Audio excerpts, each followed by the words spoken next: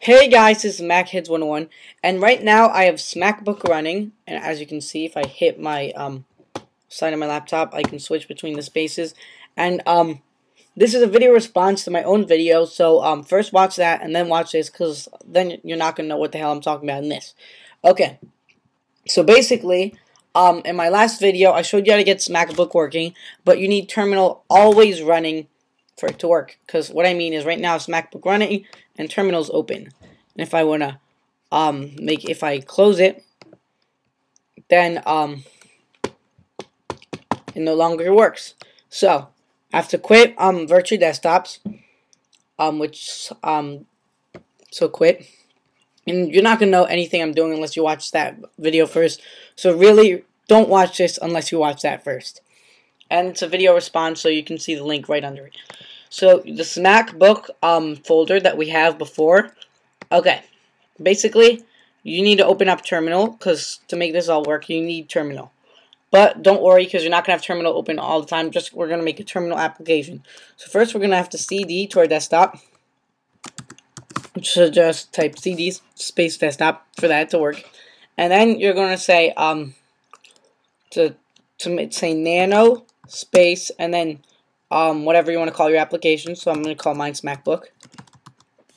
And then press enter. Cause, uh, so now you're brought into Nano. So this is where you're going to write the code for your application. And writing the code for this is actually really, really easy. First line is going to be kill. Yeah, kill all ter terminal. That way, um, terminal's not open when we do this. Okay. Ne next, we're going to want to use the SmackBook folder from last time. So you can you these can be anywhere you want, but you need them on your computer because otherwise it's not going to work. Because you have files inside this SmackBook folder that explain to it how it works. So what you do is you say cd space, and then you drag this MacBook folder in wherever its location is. Then you press enter, and then you write the same line of code that made it work last time, which is um, Perl space smack .pl. Now we have all the code written for this, so we can um, save it. So press Control X to exit.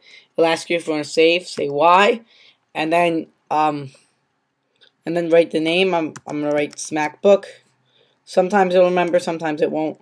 So just rewrite the name. And then if it asks you to overwrite, say yes. Oh yeah, it, it won't let me won't let me um, do this because I actually have another file on my desktop called SmackBook, which is our SmackBook folder.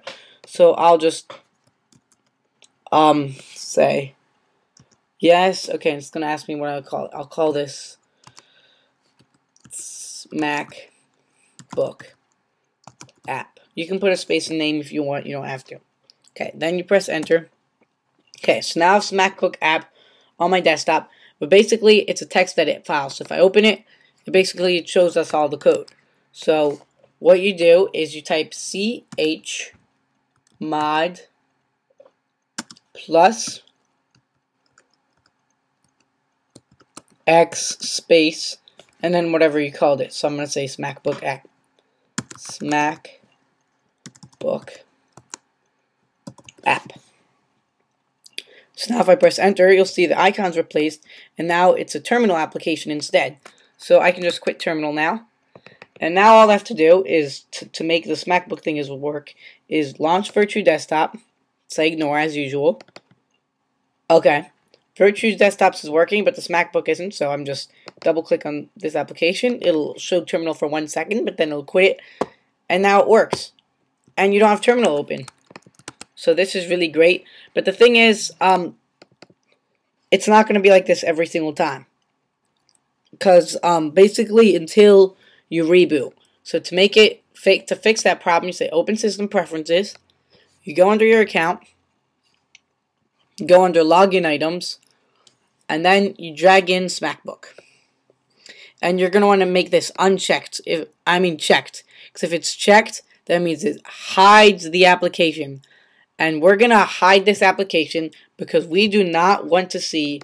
Well, you don't have to, but basically Remember when we had that little terminal window open for one second? If you want to see that, then don't check it. But if you don't want to see it, then check it. So, uh, yeah, um, so that's how you always do it without having terminal open. I hope this helped you for all of you guys that were asking.